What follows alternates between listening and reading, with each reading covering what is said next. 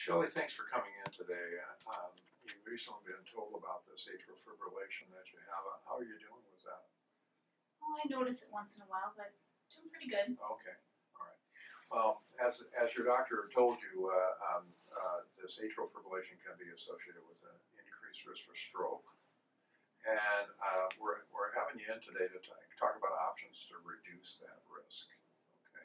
So why don't we go ahead and get started? Uh, we can we can kind of estimate your uh, more your individual risk by using a tool that I'm going to go over with you here. Um, it takes into account several factors that uh, sometimes help us in categorizing your individual risk. Um, certainly, gender does. You're you're 55, and and and that plays a, a little role in your risk. And um, understand you have um, blood pressure medications you take for that. None of these other things, other than your diabetes, which is very well controlled, by the way, but uh, that is a risk factor. Now, with this tool and based on studies that have been done on patients like you, we're able to estimate the overall risk somebody like you might have for having a stroke. We'll take a look at that on this next panel. Okay. So again, over a five-year period, somebody with your risk factors and atrial fibrillation, up to six patients might have a disabling stroke. Another 11 would have a non-disabling stroke. Okay, but 83 would not have a stroke in that population over five years. And I really can't tell you which of these patients you would be over those five years. We aren't able to predict that any more than what we have with this with this tool. But that would be your risk over time. Anticoagulant medications are used to decrease that risk. And uh, the, we, we have several choices, but in general, they have a similar effect on reducing that risk, and I can show you that right here. So if you were on anticoagulant medication, that risk, that risk of a fatal or disabling stroke would go from six down to two. The risk of a, a, a non-disabling stroke would go from 11 down to eight. And that would mean that about seven patients out of those 100 patients over five years would, would not experience a stroke because they were on the anticoagulant medication. Okay. Okay. Is that something that makes sense for you? Oh, I think so. I mean, at my age, I, I want to, you know, live my life to the fullest. So if I can eliminate that stroke. Yeah. And again, it's not it's not complete, but it's pretty good at lowering the risk. And so why don't we talk about these drugs and, and how they're used and, and how they compare because we do have some choices now. Um, there's a standard um, long-term drug that we've used, warfarin, you may know it as Coumadin, um, uh, that's been used for this purpose.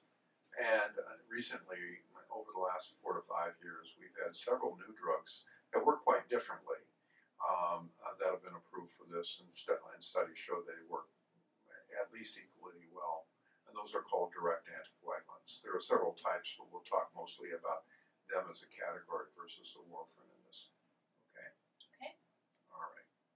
So you've got options, which is always a nice thing. So there are several concerns that patients might have as far as um, uh, taking these medications and what effect uh, it has on their life. Is there any particular concern that you have? Well, I know that um, with my current medications that I typically always take my first morning pills, and in the evening, you know, I might be busy and I forget sometimes. So. So once a day seems Once to a be day. more important for you. mhm. Okay. Well, I'll, I'll let you know that the warfarin Coumadin is a once a day pill. Okay. Um, th- it's different, and these newer medications, there are a couple of them that are twice a day pills, but we do have a couple that are once a day pills too. One thing I'll point out is the warfarin does require regular testing because we're testing the level of your clotting factors, and that, that, that sometimes is a is a bother for patients, although it usually settles out to once or twice a month testing. But there are blood tests that are associated with this. Except for some yearly screening tests, we don't do uh, uh, any blood testing uh, to monitor the levels of these newer drugs. You know, my veins are really hard to find. I, I really don't like blood testing, so that that you know sounds pretty good with the newer medication so far. Uh, any other of these issues? Um, diet, uh, cost?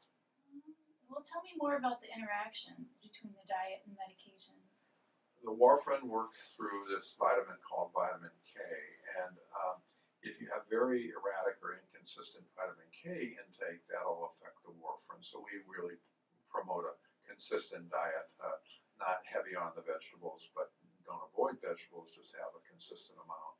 As well, if you if you get sick and you're not absorbing food very well, that can affect it too. What about alcohol? Alcohol affects the warfarin uh, uh, metabolism, and that can cause the uh, the uh, uh, warfarin to go off.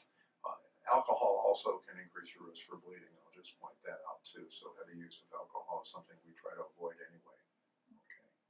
The direct anticoagulants don't have any food interactions.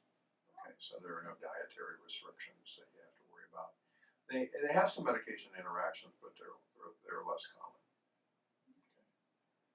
Well, let's talk about cost because you know I'm on a budget, All right. like most people. Yeah, well, there's a big difference in the cost because the warfarin is generic, it's fairly inexpensive, expensive, and we estimate over over a year that the cost of the warfarin would be about five to six hundred dollars a year, and that includes the testing. Um, a lot of things are covered by insurance. This is just the cost if you didn't have insurance, and the new drugs are quite expensive. Um, they they can be up to close to three thousand dollars a year. Again, most patients who go on the new drugs you know, they have coverage by their insurance and have varying amounts of copay with the new drugs and stuff. But uh, usually, it's it's for the patients who go on the new drugs, it's not as expensive as it would be out of pocket. Well, our insurance covers quite well. Um, I'd like to see what the newer drugs would would cost for me, um, just because I don't like um, to go in for blood testing that often, and, and I like to have wine once in a while and not worry that it's going to alter my medications. Well, I, I kind of feel obligated to kind of let you know that any of these medications can increase your risk for bruising um, and bleeding. Um, maybe, you know, uh, uh, up to eight or nine more patients a year can have bleeding episodes. Or I'm sorry, eight or nine over five years can have bleeding episodes. But uh, um, there's risk for bleedings even if you're not on these medications. Um, and that's that's something that you know we always want to make sure patients are aware of. We actually educate you on ways to avoid bleeding and ways to, to recognize bleeding when you're on these medications. So all in all, do you feel like being on one of these medications makes sense for you? Uh, I do. Okay. And you said earlier that you were kind of interested in one. Which one of these were you more interested The in? newer the new ones? Okay. Yeah. Well, let's talk about that more. Well, we can check out, uh, uh, we'll talk about the new medications and pick one that you might be interested in, and then check out the price. That Okay. good.